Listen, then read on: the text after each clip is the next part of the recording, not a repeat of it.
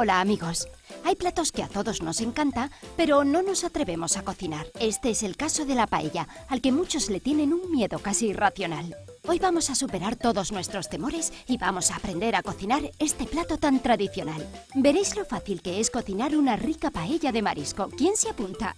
Necesitamos cebolla, tomates, pimiento rojo, pimiento rojo asado, aceite de oliva, azafrán, ajo, sal, agua, mejillones, almejas, sepia, langostinos y arroz redondo. Empezamos pelando los langostinos, pero no todos, y reservamos las cáscaras con las que vamos a hacer el caldo. Guardamos algunos enteros para decorar al final nuestra paella. Ponemos en una cazuela un chorreón de aceite. Cuando esté caliente, rehogamos las peladuras muy poco tiempo y cubrimos con agua para cocerlas durante 15 minutos. A continuación limpiamos los mejillones y las almejas. En otra cazuela con un poco de agua abrimos los mejillones, apartamos y repetiremos la misma operación con las almejas. Reservamos el líquido colado para añadirlo al caldo. Ahora seguimos con las verduras del sofrito. Cortamos la cebolla y el pimiento rojo muy finos. Recuerda quitar la parte blanca del pimiento para que no amargue. Rayamos el ajo y el tomate lo pelamos y también lo rayamos. Y por último cortamos la sepia en daditos.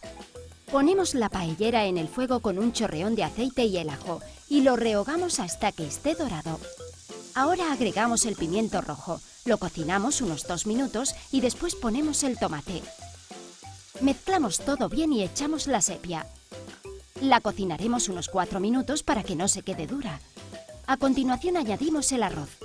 Puedes poner un puñado generoso por persona. Mezclamos bien para que se impregne del sofrito y cubrimos con el caldo.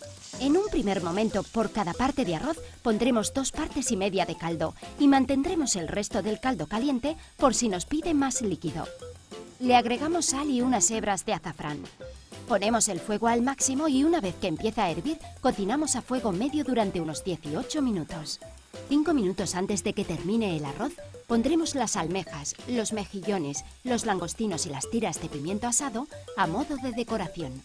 Lo maravilloso de Brillantes Arroz es que es un arroz redondo que absorbe todo el sabor y siempre queda en su punto. Además, se mantiene perfecto durante más tiempo, por lo que es perfecto si no todo el mundo va a comer al mismo tiempo.